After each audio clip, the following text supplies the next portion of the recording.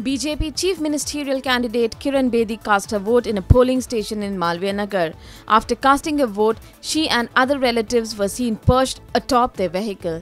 Kiran Bedi is contesting from the Krishnanagar seat which is considered a BJP bastion. The constituency in East Delhi could be a cakewalk for its chief ministerial candidate Kiran Bedi. Many in the constituency are supporting her as the face of Delhi CM.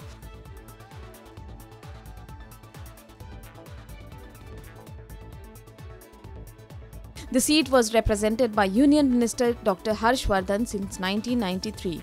The Congress has fielded Bansi Lal and Aam Party SK Bagga against Bedi in the Krishna Nagar constituency. The seat is considered a safe seat for Kiran Bedi. The constituency has 1.8 lakh voters. Powered by NNIS.